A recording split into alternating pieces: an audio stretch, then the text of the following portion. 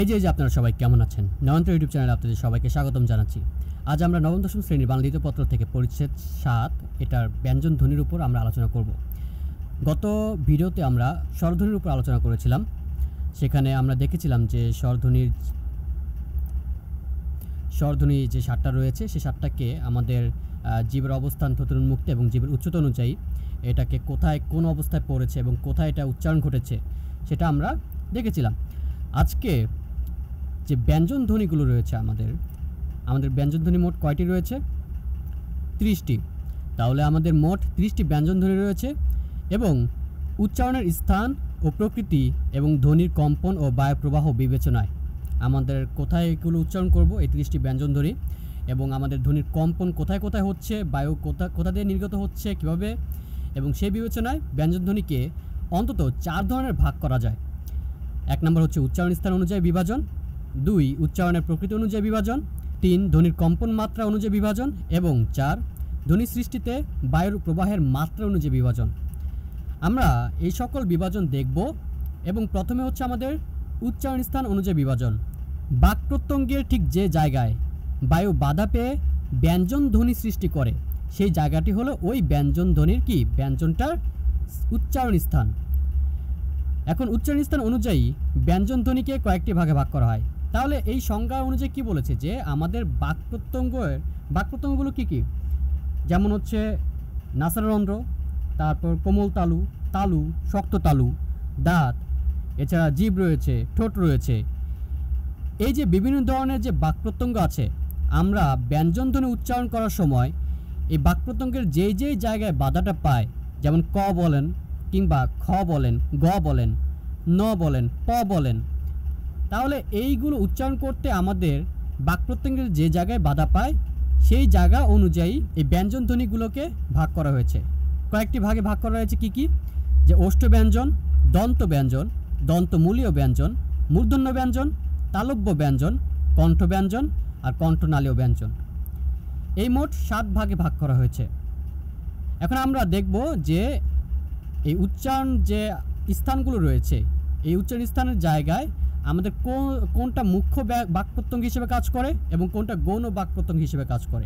মুখ্য বাক প্রত্যঙ্গ মানে হচ্ছে যেটা সরাসরিভাবে ওই স্থানে আপনার অংশগ্রহণ নেয়। আর গৌণ বাক প্রত্যঙ্গ মানে হচ্ছে যেটা ওই জায়গায় উচ্চারণ উচ্চারণ করতে বা কোনো ব্যঞ্জন ধ্বনি উচ্চারণ করতে সাহায্য করে এমন যে বাক প্রত্যঙ্গ ওগুলোকে বলা হয় গৌণ বাক প্রত্যঙ্গ যেমন আমি যদি কয়েকটা উদাহরণ বলি, সেখানে আমি একটু বলি যে ওষ্ঠ ব্যঞ্জন ওষ্ঠ মানে কি? ঠোঁট। তাহলে সেখানে আমি যদি ঠোঁট দিয়ে ঠোঁট দিয়ে যদি কোনো ব্যঞ্জন ধ্বনি উচ্চারণ করতে যাই, যেমন ঠোঁট দিয়ে কী কী ব্যঞ্জন ধ্বনি উচ্চারণ করতে পারি, যদিও আমরা এই সম্পর্কে পরবর্তীতে বিস্তারিত জানব, কিন্তু আমরা আর উদাহরণস্বরূপ আমরা একটু আগের থেকে আমরা জেনে নিই, যাতে এই মুখ্য বাক প্রত্যঙ্গ এবং গৌণ বাক প্রত্যঙ্গ বুঝতে পারি।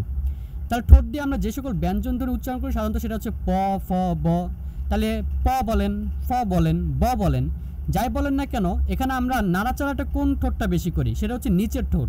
যার কারণে নিচের ঠোঁটটা হচ্ছে আমাদের মুখ্য বাক প্রত্যঙ্গ আর উপরের ঠোঁটটা আমাদের এই প ফ বলতে সাহায্য করে বলে তাই না? নিচের ঠোঁট দিয়ে উপরের ঠোঁটে প্রেশার দেই যার কারণে তো আমরা আমাদের কী করি? যে এই আহ, ব্যঞ্জন ধ্বনিগুলো উচ্চারণ করতে পারি। তাহলে সেই সেই কারণে আমাদের এই উপরের যে ঠোঁটটা রয়েছে এটাকে বলা হয় এটা কি? গৌণ বাক প্রত্যঙ্গ এই ক্ষেত্রে। দন্ত ব্যঞ্জনের ক্ষেত্রে দন্ত কি কি? যে আমাদের ত রয়েছে, থ রয়েছে দ রয়েছে। হ্যাঁ যেটা আমরা দাঁত দিয়ে উচ্চ দাঁতের সাহায্যে উচ্চারণ করি, জীব দিয়ে, তাই না? সেখানে তাহলে দাঁতের কাছে আমরা যখন জীব দিয়ে যখন জীবের ডগা দিয়ে যখন প্রেশার দিয়ে উচ্চারণ করব, এই ত, থ, দ, ধ, এই ক্ষেত্রে আমাদের জীবের ডগা হচ্ছে কি? সরাসরিভাবে উচ্চারণ করতে সাহায্য করে বলে, জীবের ডগা হচ্ছে মুখ্য বাক প্রত্যঙ্গ আর উপর দাঁতের পাটি এই ক্ষেত্রে আমাদের কি দেয়াল হয়ে কিংবা এই ক্ষেত্রে আমাদের উচ্চারণ করতে সাহায্য করে বলে উপর দাঁতের পাটিটা হচ্ছে গৌণ বাক প্রত্যঙ্গ। দন্তমূল ব্যঞ্জনের ক্ষেত্রে, দন্তমূল মানে হচ্ছে দাঁতের ঠিক গোড়ার অংশ। দাঁতের গোড়ার অংশের ক্ষেত্রে কি আমাদের জিভের ডগা দিয়ে আমরা উচ্চারণ করি। যেমন আপনি বলুন, ন ন, র, ল ল বলুন, তাহলে লকটা কি আমাদের জীবের ডগা দিয়েই ঠেলে কিন্তু আমাদের সেটা উচ্চারণ করতে হচ্ছে। জীবটা যদি না থাকতো, জীবের ডগা যদি না থাকতো, তাহলে কি আমরা সেগুলো উচ্চারণ করতে পারতাম না? তাহলে যার কারণে এই জীবের ডগাটা হচ্ছে আমাদের দন্তমূলক ব্যঞ্জনের ক্ষেত্রে জীবে কি? মুখ্য বাক প্রত্যঙ্গ এবং গৌণ বাক প্রত্যঙ্গ হচ্ছে দন্তমূল, অবশ্যই। কারণ সেটা আমাদের কি? উচ্চারণ করতে সাহায্য করে। কারণ ওই ওই স্থানে গিয়ে আমাদের কি উচ্চারিত হয় ব্যাপারটা? মূর্ধন্য ব্যঞ্জন, জীবের ডগা। তাহলে এক্ষেত্রে কি? মূর্ধন্য মানে কোনটা? যে আমাদের দাঁতের যে গোড়া রয়েছে, গোড়ার উপরের অংশে যে মারির যে অংশটা রয়েছে, ওই অংশটাকে বলা হয় মূর্ধা। এখন ওই মূর্ধার জায়গায় আমরা যে জীবের ডগা দিয়ে ঠেলে আমরা কি করি? বিভিন্ন ধরনের ব্যঞ্জন উচ্চারণ করি। যেমন কি কি? ট, ঠ, ড ঢ এই যে ব্যঞ্জনগুলো যখন উচ্চারণ করতে যায় তখন আমাদের জীবের ডগা অবশ্যই লাগে, তাই না? এবং সরাসরি সেখানে উচ্চারণ করতে সাহায্য করে, যার কারণে কি জীবের ডগা হচ্ছে মুখ্য বাক প্রত্যঙ্গ। আর ওই যে ওই স্থানটা যে স্থানে গিয়ে আমাদের জীবের ডগাটা লেগেছে যেহেতু আমাদের সাহায্য করেছে সেই সেই জায়গায়, তাহলে সেটা কি? আমাদের দন্ত, দন্তমূলের পেছনে, অর্থাৎ ওই যে মারির যে অংশটা, সেটা অর্থাৎ মূর্ধা এটা হচ্ছে গৌণ বাক প্রত্যঙ্গ তালব্য ব্যঞ্জন। এক্ষেত্রে তালব্য ব্যঞ্জনগুলো কোনগুলো? যে চ বলুন, ছ, জ, ঝ, এইগুলো যখন আপনি উচ্চারণ করতে যান, আপনার কি লাগে? আপনার মূলত যেটা লাগে সর্বপ্রথম সেটা হচ্ছে জীবের সামনের অংশ। যাতে যেহেতু কি জীবের সামনের অংশগুলো আপনি তালুর কাছে গিয়ে আপনি উচ্চারণ করছেন, যার কারণে জীবের সামনের অংশটা হচ্ছে মুখ্য বাক প্রত্যঙ্গ এবং আপনি কোথায় গিয়ে উচ্চারণটা করছেন? শক্ত তালুতে গিয়ে উচ্চারণ করছেন। যার কারণে সপ্ত তালুটা আপনাকে এক্ষেত্রে সাহায্য করছে। শক্ত তালু হচ্ছে আপনার গৌণ বাক প্রত্যঙ্গ। কণ্ঠ ব্যঞ্জন যেটা কি যেটা কি কণ্ঠে দিয়ে আপনারা যে উচ্চারণ করেন যেই ব্যঞ্জনগুলো, যেমন ক, খ, গ, ঘ, তাই না?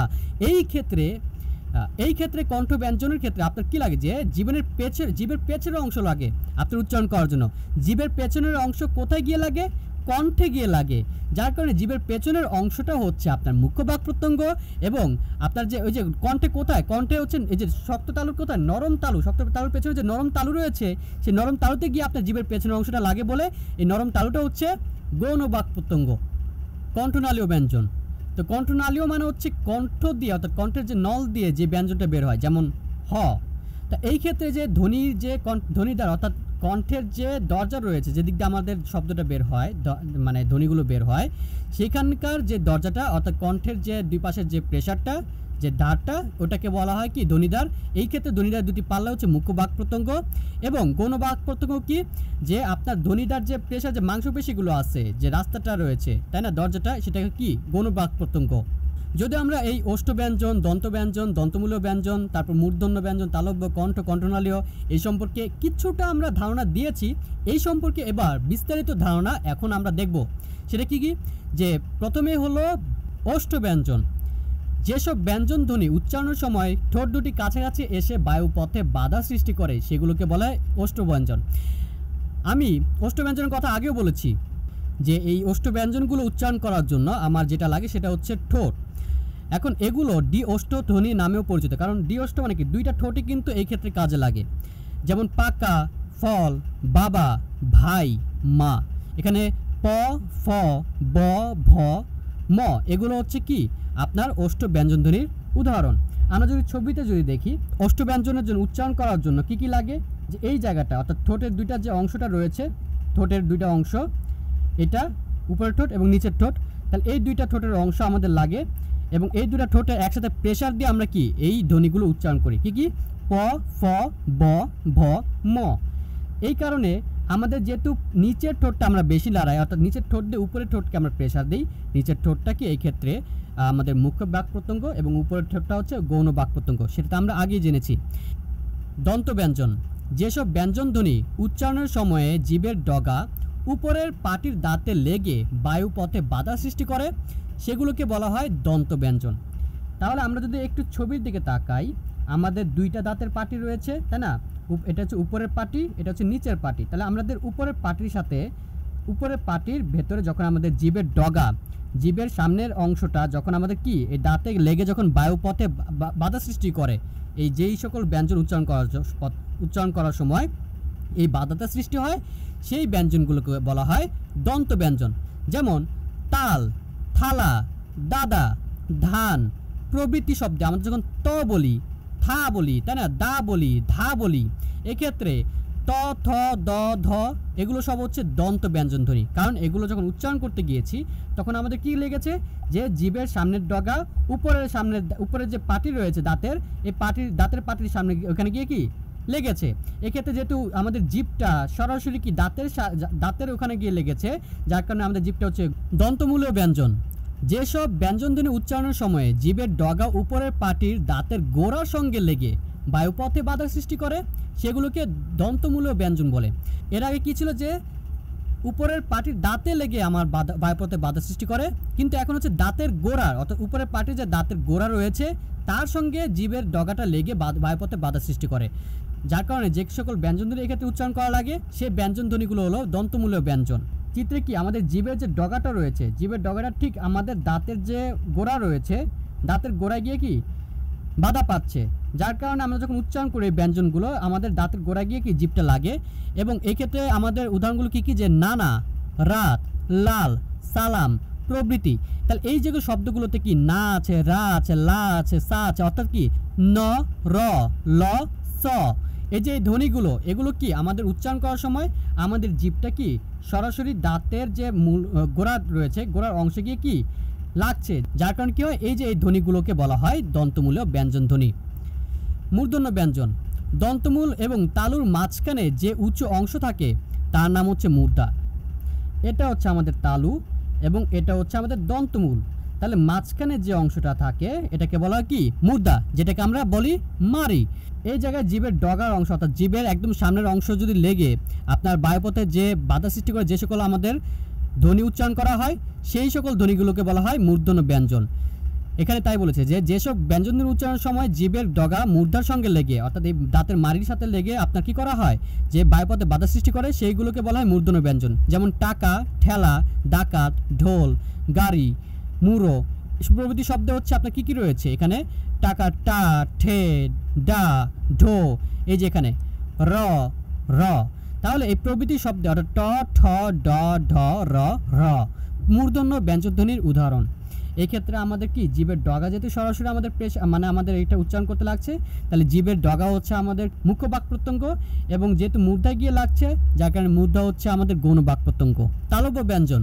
যেসব ব্যঞ্জন ধ্বনি উচ্চারণের সময় জীবের ডগা খানিকটা প্রসারিত হয়ে শক্ত তালুর কাছে বায়ুপথে বাধা সৃষ্টি করে, সেগুলোকে বলা হয় তালব্য ব্যঞ্জন। আমাদের শক্ত তালুটা কোনটা? শক্ত তালু হচ্ছে এই যে এখান থেকে এই অংশ, অর্থাৎ এই যে এতটুকু অংশ হচ্ছে আমাদের কি? তালু। তাহলে এই অংশে গিয়ে আপনার জীবের সামনের অংশ প্রসারিত হয়ে কি? এখানে যখন আপনার লাগবে, ঠিক আছে? এখানে গিয়ে যখন, এভাবে গিয়ে যখন লাগবে, তখন কী হবে? আপনি যে ব্যঞ্জনগুলো উচ্চারণ করবেন এখানে লাগা অবস্থায়, ঠিক আছে? সেই ব্যঞ্জন ধ্বনিগুলো হচ্ছে তালব্য ব্যঞ্জন। তাহলে যেমন চাচা, ছাগল, জাল, ঝড়, শশা প্রভৃতি শব্দের যে আপনার চ, ছ, জ, ঝ স বলুন না কেন? এক্ষেত্রে আপনার জীবের যে সামনের অংশ, আপনি দেখবেন যে এটা কি? চড়া হয়ে যাচ্ছে। অনেকটা কি? চড়া হয়ে যাচ্ছে, ঠিক আছে? চড়া হয়ে আপনার উপর তালুর সাথে ঘষা খেয়ে কি আপনার এই ব্যঞ্জনগুলো উচ্চারণ করতে পারছেন? যার কারণে এই যে এই ব্যঞ্জন ধ্বনিগুলোকে বলা হয় তালব্য ব্যঞ্জন, এক্ষেত্রে যে যেহেতু জীবের সামনের অংশ গিয়ে কি করছে? আপনার বাধা সৃষ্টি করছে এবং সে, যার কারণে জীবের সামনের অংশটা হচ্ছে মুখ্য বাক প্রত্যঙ্গ এবং যেহেতু তালুতে গিয়ে লাগছে, যার কারণে তালুকে বলা হয় গৌণ বাক প্রত্যঙ্গ কণ্ঠ ব্যঞ্জন যেসব ব্যঞ্জনধ্বনি উচ্চারণের সময়ে জীবের পেছনের অংশ উঁচু হয়ে আলজীবের কাছাকাছি নরম তালুর কাছে বায়ুপথে বাধা সৃষ্টি করে, সেগুলোকে বলা হয় কণ্ঠ ব্যঞ্জন তাহলে যেসব ব্যঞ্জনধ্বনি কী করা হয়? যে জীবের পেছনের অংশ, তাহলে জীবের পেছনের অংশ কোনটা? এই যে অংশ, এটা হচ্ছে জীবের পেছনের অংশ। এই জীবের পেছনের অংশে গিয়ে কী হয়? যে আপনার আলজীব, এটা হচ্ছে আলজীব।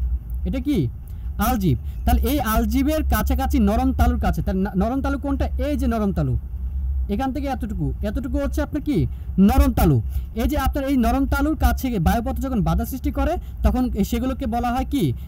কণ্ঠ ব্যঞ্জন যখন আমি ক বলি, খ বলি, গ বলি, যাই বলি না কেন, আমাদের আলজিবের যে সামনে যে নরম তালু রয়েছে, নরম তালু যায় কি? আপনার জীবের পেছনের অংশ লেগে যাচ্ছে, যার কারণে কি এখানে কণ্ঠ ব্যঞ্জনগুলো উচ্চারিত হচ্ছে। এক্ষেত্রে আপনার যেহেতু জীবের পেছনের অংশ যেহেতু আপনার লাগছে, অর্থাৎ সরাসরি আপনার প্রেশার দিচ্ছে, যার কারণে জীবের পেছনের অংশটা হচ্ছে মুখ্য মুখ্য ব্যাক মুখ্য বাক প্রত্যঙ্গ এবং যেহেতু আপনার নরম তালুতে গিয়ে লাগছে, যার কারণে নরম তালু হচ্ছে আপনার কি? গৌণ বাক প্রত্যঙ্গ।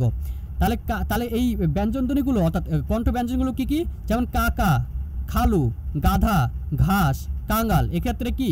ক, খ, গ, ঘ উ এক্ষেত্রে এগুলো হচ্ছে আপনার কি? কণ্ঠ ব্যঞ্জনধ্বনির উদাহরণ। আর পরিশেষে হচ্ছে আপনাদের কণ্ঠনালীয় ব্যঞ্জন। কণ্ঠনালীয় ব্যঞ্জন উচ্চারণের সময় ধ্বনিদ্বার থেকে বায়ু কণ্ঠনালী হয়ে সরাসরি বের হয়ে আসে। যেমন হাতি শব্দের হ হচ্ছে কণ্ঠনালীয় ব্যঞ্জন ধ্বনির উদাহরণ। তাহলে এক্ষেত্রে কোনটা? ধ্বনিদার কোনটা? এই যে এটা হচ্ছে ধ্বনিদার, ঠিক আছে? তো এটা হচ্ছে ধ্বনিদার। তাহলে এই ধ্বনিদার দিয়ে কি? আপনার ডিরেক্টলি কি হয়? যে আপনার হটা বের হয়ে আসে মুখ দিয়ে। তাহলে এই ক্ষেত্রে যেহেতু আপনার কি ধ্বনির যে দুই পাশে দুইটা যে পাল্লা রয়েছে, দুইটা দুই পাশে পাল্লা পেশা দিয়ে আমরা কি বলি? হ। যার কারণে কি ধ্বনিটার দুই পাশে দুইটি পাল্লা, এই পাল্লা দুটিকে বলা হয় কি? আমাদের মুখ্য বাক প্রত্যঙ্গ এবং আমাদের ধ্বনির যে রাস্তা রয়েছে, এই ধ্বনির রাস্তাটাকে অর্থাৎ এই দরজাটাকে আমাদের এই খোলা অংশটাকে বলা হবে কি? গৌণ বাক প্রত্যঙ্গ আর এই ক্ষেত্রে আমাদের কন্ট্রোনাল ব্যঞ্জন শুধুমাত্র একটাই, সেটা হচ্ছে হ। তাহলে উচ্চারণের স্থান অনুযায়ী আমাদের ব্যঞ্জন ধ্বনির যে বিভাজন, সেটা আমরা দেখলাম। এখন দুই নাম্বার, উচ্চারণের প্রকৃতি অনুযায়ী ব্যঞ্জন ধ্বনির বিভাজনগুলো আমরা দেখব। ব্যঞ্জন ধ্বনি বি- উচ্চারণের সময়ে ঠোঁট, জীব, জীবমূল ইত্যাদি বাক প্রত্যঙ্গের আকৃতিগত পরিবর্তন হয়। এতে বায়ুপথে সৃষ্ট বাধার ধরন আলাদা হয়ে উচ্চারণের প্রকৃতি বদলে যায়। উচ্চারণের এই প্রকৃতি অনুযায়ী ব্যঞ্জনধ্বনিকে কয়েকটি ভাগে ভাগ করা যায়, যথা স্পৃষ্ট ব্যঞ্জন, নাসিক্য ব্যঞ্জন উষ্ম ব্যঞ্জন পার্শ্বিক ব্যঞ্জন, কম্পিত ব্যঞ্জন, তায়িত ব্যঞ্জন।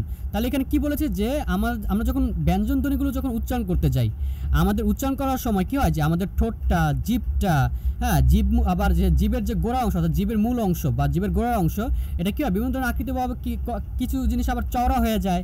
কিছু কী হয় যে, কম্পিত হয় বেশি হ্যাঁ আর কিছু বাধার একটু ধরনটা একটু অন্যরকমভাবে সৃষ্টি করে।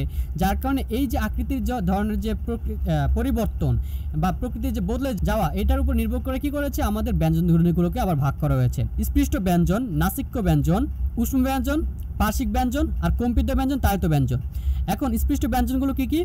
যেসব ব্যঞ্জনধ্বনি উচ্চারণের সময়ে দুটি বাক প্রত্যঙ্গ পরস্পরের সংস্পর্শে এসে বায়ুপথে বাধা তৈরি করে, সেগুলোকে বলা স্পৃষ্ট ব্যঞ্জন। তাহলে পরস্পর সংস্পর্শ এসে যেমন কি আমাদের যেই ব্যঞ্জনগুলো উচ্চারণ করার জন্য দুইটা জিনিস আমাদের অবশ্যই লাগে, দুইটা বাক প্রত্যঙ্গ অবশ্যই লাগবে। যেমন প বলতে গেলে আমাদের উপরে ঠোঁট নিচে- নিচের ঠোঁট লাগবে। ট বলতে গেলে আমাদের কি? আমাদের মূর্ধা লাগে, জীবের ডগা লাগে। তাহলে কি? আমাদের দুইটা, আমাদের যে কোনো দুইটা কি বাক প্রত্যঙ্গ লাগছেই? তাহলে যে সকল ব্যঞ্জন ধ্বনি উচ্চারণ করার সময় আমাদের যে, আমাদের মিনিমাম আমাদের দুইটা বাক প্রত্যঙ্গ লাগছেই, সেইগুলো, সেই ব্যঞ্জন ধ্বনিগুলোকে বলা হয় স্পৃষ্ট ব্যঞ্জন। যেমন কি কি? এগুলোকে আবার স্পর্শ ব্যঞ্জন ধ্বনিও নামে কি? পরিচিত। যেমন পথ, তল, টক, চর, কল। শব্দের ভিতর কি? যে প, ত, ট, চ। ক, এগুলো কি স্পৃষ্ট বা স্পর্শ ব্যঞ্জন ধ্বনি বলে? উচ্চারণ স্থান অনুযায়ী এগুলোকে ঠোঁট স্পৃষ্ট, দন্ত স্পৃষ্ট মূর্ধ স্পৃষ্ট, তালু স্পৃষ্ট এবং কণ্ঠ স্পৃষ্ট। এই পাঁচ ভাগে ভাগ করা হয়েছে। ঠোঁট স্পৃষ্ট ব্যঞ্জনগুলো হলো প, ফ, ব, ভ, অর্থাৎ যেগুলো কি ঠোঁট দ্বারা উচ্চারণ করা হয়। আর দন্ত স্পৃষ্ট ব্যঞ্জনগুলো হলো ত, থ, দ, ধ। মূর্ধ স্পৃষ্ট ব্যঞ্জনগুলো হলো ট, ঠ, ড, ঢ। তালু স্পৃষ্ট ব্যঞ্জনগুলো হলো চ, ছ জ, ঝ। কণ্ঠস্পৃষ্ট ব্যঞ্জনগুলো ক, খ, গ, ঘ। আপনারা বলতে পারেন যে, এই যে এখানে যে প, ফ, ব, ভ রয়েছে, ম কোথায়? আবার এখানে ত, থ, দ, ধ রয়েছে, ন কোথায়? হ্যাঁ? তাহলে এই যে এখানে যে ক, খ, গ, ঘ রয়েছে, উ কোথায়? তা এগুলো কি, উ কি বা উ কি কণ্ঠ স্পৃষ্ট নয়? ম কি ওষ্ঠ ম কি ওষ্ঠ দিয়ে উচ্চারণ করি না আমরা?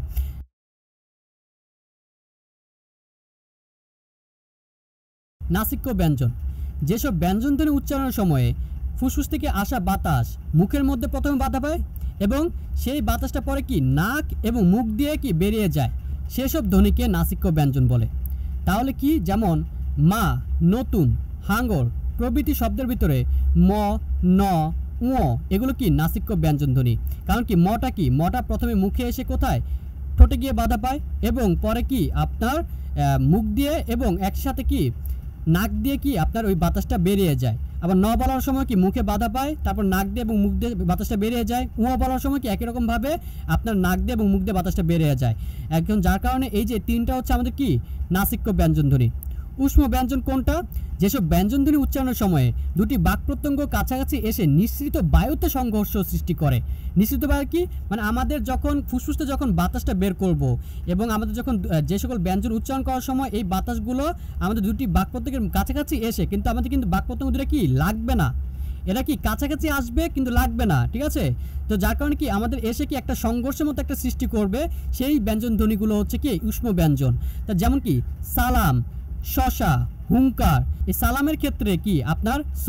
শশার ক্ষেত্রে স হুঙ্কার ক্ষেত্রে হ। এগুলো হচ্ছে উষ্ম ধ্বনির উদাহরণ। উচ্চারণ স্থান অনুযায়ী কি উষ্ম ব্যঞ্জন ধ্বনিগুলোকে আবার দন্তমূল্য? যেটা কি? স, তালব্য, স এবং কণ্ঠনালীয় হ। এই তিন ভাগে ভাগ করা যায়। কারণ কি? যখন স বলব, তখন কি দাঁতের গোড়ার সাথে জিভটা কি হয়? আমাদের কাছাকাছি আসে, কিন্তু আমাদের কিন্তু লাগে না। ঠিক আছে? সেখানে গিয়ে কি আমাদের বাতাসের সংঘর্ষ খায়, যার কারণে আমরা স বলি। আবার তালুব্বর ক্ষেত্রে কি? তালুর কাছে গিয়ে আমাদের জিভটা কি? কাছে গিয়ে আমাদের জিভটা অবস্থান করে, কিন্তু আমাদের কি তালুতে গিয়ে জিভটা লাগে না। কিন্তু ওখানে বাতাসটা কি সংঘর্ষ খায়, যার কারণে আমরা কি বলি? স। আবার কণ্ঠনালীয় জায়গায় কণ্ঠের যে ধ্বনিদার রয়েছে ধ্বনিদার চাপিয়ে আমরা যে বায়ু বাতাস রয়েছে, সে বাতাসটা আমরা সংঘর্ষ খাই যার কারণে কি আমরা হটা উচ্চারণ করি। এগুলোর মধ্যে স এবং শকে আলাদাভাবে শীষ ধ্বনিও বলা হয়ে থাকে। কারণ কি? এগুলো যখন আমরা উচ্চারণ করতে যাব, তখন কি আমাদের একটা শীষের মতো একটা আওয়াজ হয়, তাই না? স স। যার কারণে স স, উচ্চারণের শ্বাস অনেকক্ষণ ধরে রাখা যায় এবং শীষের মতো কি আওয়াজ হয় এই জন্য কি এই দুইটাকে বলা হয় শীষ ধ্বনি পার্শ্বিক ব্যঞ্জন, যে ব্যঞ্জন ধ্বনি উচ্চারণের সময়ে জীবের ডগা দন্তমূল স্পর্শ করে এবং ফুসফুস থেকে আসা বাতাস জীবের দুই পাশ দিয়ে বেরিয়ে যায়, তাকে পার্শ্বিক ব্যঞ্জন বলে। ল, সেটা কি লাল শব্দে ল পার্শ্বিক ব্যঞ্জন ধ্বনির উদাহরণ। অর্থাৎ ল যখন বলতে যাবেন, লটা কোথায় গিয়ে আটকাবে? ল আটকাবে হচ্ছে আপনার দন্তমূলের কাছে গিয়ে, অর্থাৎ দন্তমূলে গিয়ে আপনার ল, জীবের ডগাটা গিয়ে কি আটকাবে? কিন্তু যখন যখন আপনি জীবের ডগা দিয়ে যখন আরেকটু বেশি প্রেশার দেবেন, তখন কিন্তু আপনি লটা উচ্চারণ করতে পারবেন। এই প্রেশারের ফলে কি হবে? জীবের দুই পাশ দিয়ে আপনার ফুসফুস থেকে আসা বায়ুটা কি চলে যায়? যার কারণে এটা কি বলা হয়? যে বার্ষিক ব্যঞ্জন বলা হয়। কম্পিত ব্যঞ্জন। যে ধ্বনি উচ্চারণের সময়ে জীব একাধিকবার অতি দ্রুত দন্তমূলকে আঘাত করে, বায়ুপথে বাধার সৃষ্টি করে, তাকে কম্পিত ব্যঞ্জন বলে। তাহলে এটা কি কাপে? জীবটা কি কাপে এই ক্ষেত্রে? যেমন কর, ভার, হার, প্রভৃতি শব্দের ভিতরে যে র রয়েছে, এটা কি কম্পিত ব্যঞ্জনধ্বনির উদাহরণ। তারিত ব্যঞ্জন। যে ধ্বনি উচ্চারণের সময় জীবের সামনের অংশ দন্তমূলের একটু উপরে, অর্থাৎ মূর্ধায় গিয়ে যে কি হয়, যে টোকা দেওয়ার মতো করে একবার ছুঁয়ে যায়। ঠিক আছে? কিন্তু কি হবে? যে টোকা দেওয়ার মতো একবার ছুঁয়ে যাবে, তাকে তাড়িত ব্যঞ্জন বলে। ঠিক আছে? যেমন বাড়ি মুরো প্রভৃতি শব্দের র আর র তাড়িত ব্যঞ্জনধ্বনির উদাহরণ। তাহলে কি? তাহলে এখানে আমার একটা কথা হলো গিয়ে, যে র র আর র। এই তিনটার ভিতরে তাহলে পার্থক্যটা কোথায়? যেটা র, এই রটা হচ্ছে বেশি প্রেশার খাবে। কোথায় গিয়ে প্রেশার খাবে? সেটা হচ্ছে দন্ত মূলে গিয়ে প্রেশার খাবে। এবং বেশিরভাগ কি? দন্ত মূলে গিয়ে কি? জিভটা বারবার কি? টোকা দিবে। যার কারণে এই র, অর্থাৎ যেটাকে আমরা বসুন র বলি, এটাকে কম্পিত ব্যঞ্জন বলা হয়। যেটা আমাদের কি? দন্তমূলের কাছে গিয়ে কি? জিভটা বারবার কাঁপছে। আর র এবং র। এই ক্ষেত্রে কি আপনার জিভটা জাস্ট মুদ্রায় গিয়ে কি একটু করে একটু করে দিয়ে চলে আসবে? অর্থাৎ আপনার জিভের যে কাঁপার বিষয়টা, সেটা কি একদমই কম, অর্থাৎ একবার করে কাঁপবে। হ্যাঁ যার কারণে এটাকে বলা কি তাড়িত ব্যঞ্জন। এবার তিন নম্বর হলো ধ্বনির কম্পন মাত্রা অনুযায়ী বিভাজন। ব্যঞ্জন ধ্বনি উচ্চারণের সময়ে স্বরযন্ত্রের ধ্বনিদ্বারে বায়ুর কম্পন কম বেশি হওয়ার ভিত্তিতে ব্যঞ্জন ধ্বনিকে দুই ভাগে ভাগ করা যায়। সেটা হচ্ছে ঘোষ ও অঘোষ ধ্বনি। এখন অর্থাৎ বায়ুটা আমার কি বেশি লাগছে না কম কম লাগছে? ব্যঞ্জন ধ্বনি উচ্চারণ করার সময় সেই অনুযায়ী কিন্তু আমাদের এবার এটাকে ভাগ করা হয়েছে। যেসব ধ্বনি উচ্চারণের সময়ে ধ্বনিদ্বারের কম্পন অপেক্ষাকৃত বেশি, সেই সব ধ্বনিকে বলা হয় ঘোষ ধ্বনি, যথা ব, ভ, ম, দ, ধ, ন, র, ল ড ঢ। এই যে, এই এই সকল আমাদের যে ব্যঞ্জন ধ্বনিগুলো রয়েছে, এই ধ্বনিগুলো কি ঘোষ ব্যঞ্জন? কারণ কি এগুলো যখন উচ্চারণ করতে যাব, তখন কি আমাদের ধ্বনিদ্বারের যে চাপটা, প্রেশারটা, অপেক্ষাকৃত কম্পনটা কি বেশি পরিমাণে লাগে? আর অঘোষ ব্যঞ্জনগুলো কোনগুলো? যেসব ধ্বনি উচ্চারণের সময় ধ্বনিদ্বারের কম্পন, অপেক্ষাকৃত কি কম, সেগুলোকে বলা হয় কি অঘোষ ধ্বনি। যথা প, ফ, ত, থ, স, ট, ঠ, চ, এগুলোকে কি বলা হয়? অঘোষ ব্যঞ্জন। আবার চার নম্বর হচ্ছে ধ্বনি সৃষ্টিতে বায়ুপ্রবাহ অনুযায়ী বিভাজন। যেমন হচ্ছে আমাদের ধ্বনি সৃষ্টির সময় আমাদের কতটুকু বায়ু লাগে, সেটা কি বেশি লাগছে নাকি কম লাগছে, সেই অনুযায়ী আমরা কি ধ্বনিকে আবার বিভাজন করতে পারি? ব্যঞ্জন ধ্বনি উচ্চারণের সময় বায়ু প্রবাহের বেগ কম বেশি হওয়ার ভিত্তিতে ব্যঞ্জন ধ্বনিকে দুই ভাগে ভাগ করা যায়, অল্পপ্রাণ ও মহাপ্রাণ। অল্পপ্রাণ ব্যঞ্জন। যেসব ধ্বনি উচ্চারণের সময়ে ফুসফুস থেকে নির্গত বায়ু প্রবাহের মাত্রা কম, অর্থাৎ ফুসফুস থেকে এগুলো উচ্চারণ করতে গেলে কি ফুসফুস থেকে যে বাতাস লাগে, সেটা কি কম লাগে? এগুলোকে বলা হয় তাই অল্পপ্রাণ ধ্বনি। যেমন প, ফ, ব প ফ, ত, দ, দন্তস্ব, ট এগুলো হচ্ছে কি অল্পপ্রাণ ব্যঞ্জন। আর মহাপ্রাণ ব্যঞ্জন হচ্ছে যেসব ধ্বনি উচ্চারণের সময় ফুসফুস থেকে নির্গত বায়ু প্রবাহ কি অপেক্ষাকৃত বেশি? অর্থাৎ আমার বেশি পরিমাণে কি বায়ু লাগে, বেশি পরিমাণে দম লাগে, একটু প্রেশার দিতে হয় বাতাস দিয়ে সেগুলোকে কি বলা হয়? মহাপ্রাণ ব্যঞ্জন। যেমন ফ, ভ, থ, ধ, এগুলো হচ্ছে কি মহাপ্রাণ ব্যঞ্জন। আমরা এই ব্যঞ্জন বর্ণের যে উনচল্লিশটি ব্যঞ্জন বর্ণ রয়েছে, এখানে যদি আমরা দেখি যে পেছনের এই যে এখানে উনত্রিশত জ থেকে চন্দ্রবিন্দু পর্যন্ত এগুলো বাদ প্রথম যে পঁচিশটি ব্যঞ্জন বর্ণ রয়েছে, প্রথম পঁচিশটি ব্যঞ্জন বর্ণের ভিতরে দেখুন, আমাদের যে কয়টা শাড়ি রয়েছে মোট? এক, দুই, তিন, চার, পাঁচ, পাঁচটা শাড়ি রয়েছে। প্রত্যেকটা শাড়িতে আমাদের কয়টি করে? আমাদের মোট পাঁচটি করে বর্ণ রয়েছে। আর এই পাশে কি এক, দুই, তিন, চার, পাঁচ, মোট পাঁচটি করে কলাম রয়েছে। এই কলামগুলোর দিকে একটু খেয়াল একটুখানি আমরা খেয়াল করব যে ক, খ, গ, ঘ। এই যে দেখুন, তাহলে ক খ, গ, ঘ। ক যখন বলব, খ বলতে গেলে কি আমাদের একটু বেশি দম লাগে মানে বেশি বাতাস প্রবাহিত হয়। গ, ঘ। গ যেভাবে বলব, ঘ বলতে গেলে কিন্তু আমাদের কি, বেশি পরিমাণ বাতাস প্রবাহিত হয়, করতে হয়। যার কারণে যেহেতু আমার কতে কি কম পরিমাণ বাতাস করতে হয়, প্রবাহিত করতে হয় এই কয়ের লাইনে যতগুলো আছে, ক, চ, ট, ত, প, এই সকল লাইনগুলো হচ্ছে আমার কি অল্প প্রাণ এমনকি গ, জ, ড, দ, ব, এই এই লাইনটা কি আমাদের অল্প প্রাণ। আর এটা হচ্ছে কি আমাদের মহাপ্রাণ, যেটা আমাদের এখানে কি বাতাস বেশি লাগে, বেশি প্রবাহিত হয়। আর এটাও কি মহাপ্রাণ। তাহলে এটা হচ্ছে অল্প প্রাণ, আর এটা হচ্ছে মহাপ্রাণ। এটা হচ্ছে অল্প প্রাণ, এটা হচ্ছে মহাপ্রাণ। বুঝা গেল?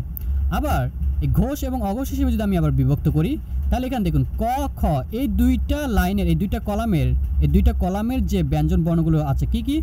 এই যে ক, খ চ, ছ, ট, ঠ, ত, থ আর প, ফ। এই যে এই লাইনের যেগুলো আছে এটা হচ্ছে আমাদের কি? অঘোষ। এগুলো কি বলে? অঘোষ বলে। কেন? কারণ এগুলো আমাদের বেশি কাঁপে না। অর্থাৎ এগুলো উচ্চারণ করতে গেলে আমাদের মুখের ভিতরে যে বাক প্রত্যঙ্গ আছে, সেগুলো কি খুব একটা বেশি কাঁপে না। কিন্তু আমরা যখন গ, ঘ হ্যাঁ উ জ জ, এই যে এগুলো যখন আমরা বলব, এই তিনটা কলমের আমাদের যতগুলো ব্যঞ্জনগুলো আছে এই এই ব্যঞ্জন বর্ণের ধ্বনিগুলো যখন উচ্চারণ করতে যাব, তখন এগুলো কি আমাদের মানে বেশি পরিমাণে আমাদের বাক প্রত্যঙ্গ কাঁপে? যার কারণে আমাদের এগুলো হচ্ছে কি? ঘোষ। এগুলো হচ্ছে ঘোষ ধ্বনি। তবুও কিন্তু একটু নৈর্বৃত্তিকের খাতিরে, কারণ আমাদের এখানে দেখুন ওই পঁচিশটি ব্যঞ্জনবর্ণ বাদে এখানে কি কি রয়েছে? তালবর্ষ রয়েছে, তারপর হ রয়েছে।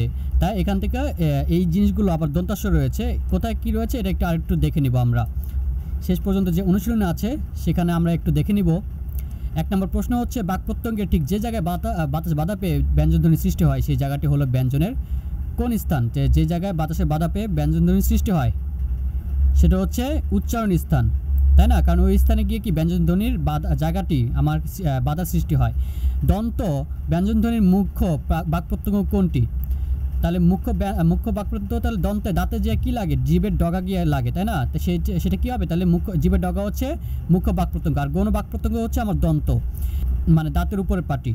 কোন ব্যঞ্জনধ্বনি উচ্চারণের সময় জীবের ডগ, উপরের পাটির দাঁতের গোড়ার সঙ্গে লেগে বায়ু পথে বাধা সৃষ্টি করে?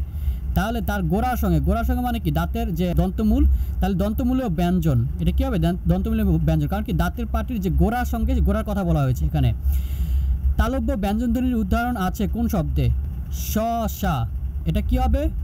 স হবে কারণ এখানে কি আছে? দেখুন, তালবস্য রয়েছে, তাই না? তালবস্য কথার ভিতরে এই যে এই বর্ণটার উচ্চারণের ক্ষেত্রে কিন্তু আমাদের তালব্যস্য আছে। তাই সেটা দিয়ে কিন্তু আমরা বুঝতে পারি যে তালব্য, এটা কি একটা তালব্য ব্যঞ্জন? আর এখানে কি স হচ্ছে আপনার ওই তালুতে গিয়ে, শক্ত তালুতে গিয়ে আপনার জীবের ডকাটা কি সামান্য এখানে কাছাকাছি গিয়ে কি হয়? উচ্চারিত হয়। যার কারণে এটা কি একটা তালব্য ব্যঞ্জন? পার্শ্বিক ব্যঞ্জন ধ্বনির উচ্চারণ কোনটি? পার্শ্বিক ব্যঞ্জন ধ্বনি হচ্ছে ল। কারণ কি, এটা কি, জীবের ডগা দিয়ে যখন আমরা দন্তমূলের কাছে গিয়ে যখন আমরা লটা যখন উচ্চারণ করতে যাব, তখন কি দুই পাশের জীবের দুই পাশ দিয়ে আমাদের বাতাসটা বেরিয়ে যায়? না, যার কারণে এটাকে কি পার্শ্বিক ব্যঞ্জন ধ্বনি বলে। কোনটি তারিত ব্যঞ্জন ধ্বনির উদাহরণ? সেটা হচ্ছে ডশনো র কারণ এটা কি, এটা আমাদের মূর্ধায় গিয়ে কি একবার গিয়ে আমাদের জীবের ডগাটা নাড়া খায়, বাড়ি দেয় বা টোকা দেয়। যার কারণে এটা কি বলা হয়?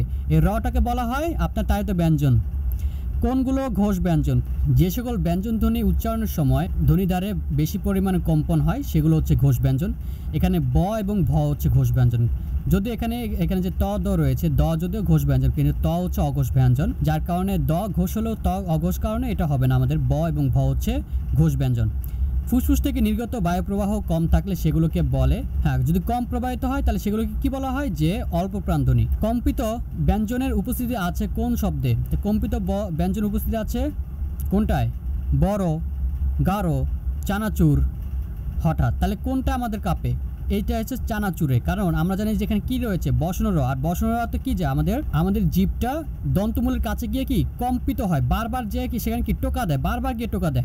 আর ডসনর এবং ঢসনর তো কি আমাদের মুদ্রায় গিয়ে কি একবার মাত্র টোকা দিয়ে আসে। আচ্ছা উচ্চারণ স্থান অনুযায়ী তালবর্ষ কেমন ধ্বনি? এটা হচ্ছে তালব্য ধ্বনি। আমরা আমাদের আজকের ভিডিওর একদম শেষ প্রান্তে চলে এসেছি। আমাদের আলোচনাটা অর্থাৎ ব্যঞ্জনধ্বনির যে আলোচনা, সেটা আমাদের শেষ হয়েছে।